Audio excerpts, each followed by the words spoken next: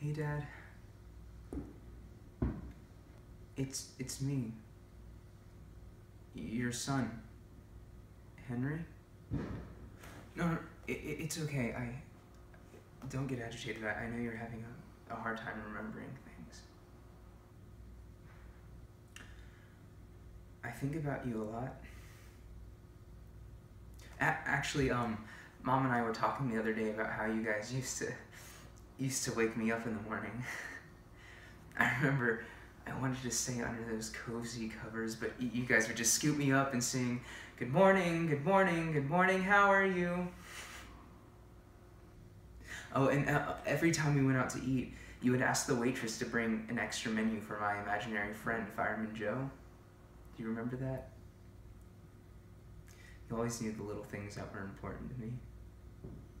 Oh, and swimming. God, I hated swimming, but but you would you would put little pieces of the candy at the bottom of the pool so that I'd forget how scared I was to swim. And I was so proud I could finally go into the water and get the pieces of candy.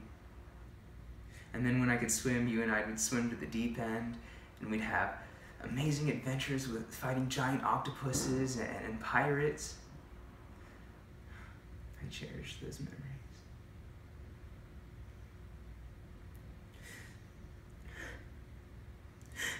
Dad, I miss you. I mean, I know you're right there. You're, you're right in front of me. I, I can touch you. I can feel the warmth of your skin, but it's not really you.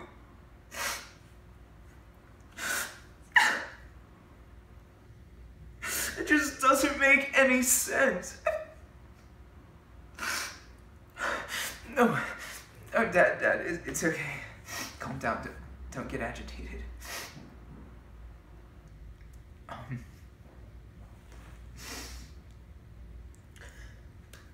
I should probably get going now.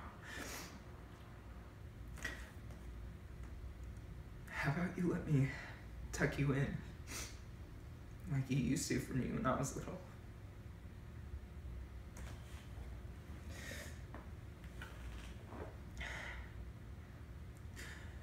Things really have come full circle, haven't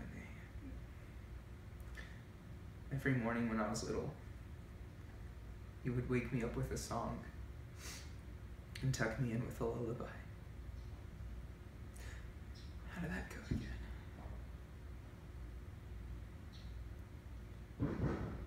Just by closing your eyes,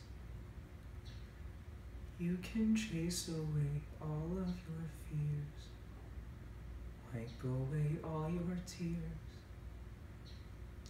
Just by closing your eyes.